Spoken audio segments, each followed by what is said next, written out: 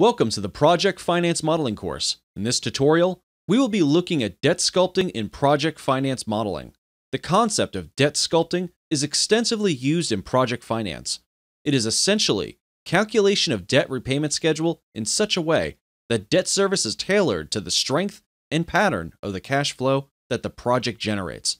If you remember, one of the key ratios that lenders use to analyze the project's ability to repay debt is debt service coverage ratio, or DSCR. DSCR is a ratio generated by the project, and then this project's DSCR is compared to DSCR required by the lenders. We have seen in our model that while weighted average DSCR generated by the project may be larger than the minimum required DSCR, periodic DSCR in some periods may be lower than the minimum required DSCR.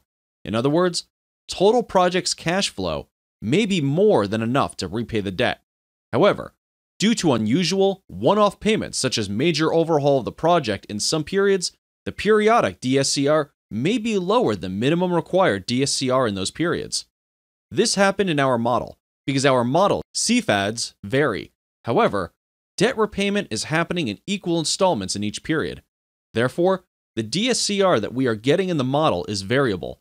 In some periods, DSCR generated by the project is significantly higher than the required DSCR, and, in other periods, it is significantly lower.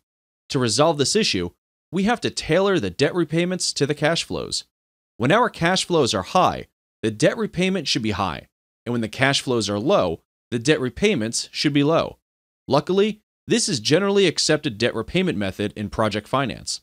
Using debt sculpting, we can maintain the ratio between the CFADs and debt service constant, removing all the volatility.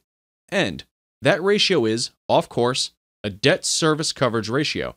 Debt sculpting is generally applied when project has irregular but well understood cash flows, for example in oil and gas projects, or because of the seasonal demand factors, which is common in power industry, or because of an unusual but expected payment, such as major overhaul of an asset.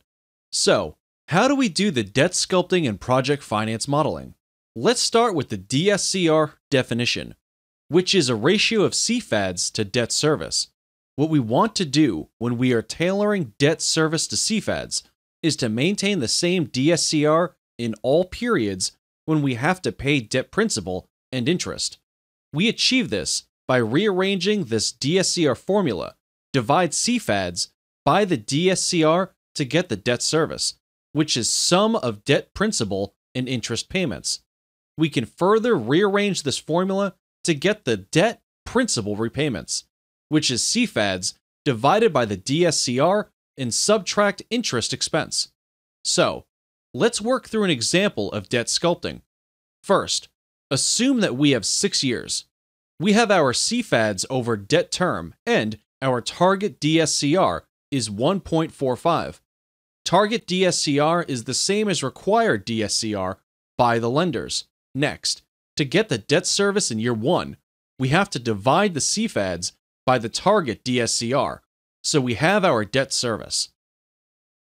Assume that our initial debt balance is 75, which carries interest rate of 7.5%.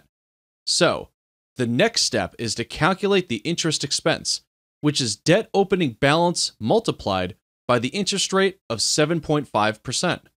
Now, we can subtract from the debt service the interest expense to get the debt principal repayment. And, based on the debt opening balance and principal repayment, we get the debt closing balance in year one, which is debt opening balance in year two. Please note that the numbers do not add up due to rounding.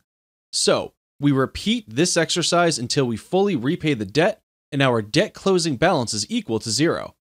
Now you can see that variation in our debt principal repayment and debt service follow the variations in our cash flows available for debt service. When our cash flow is high, our debt service is high, and when our cash flow is low, our debt service is low. We will work on the debt sculpting in our model in the next lesson and see if that will resolve the issue that we have with the current DSCR.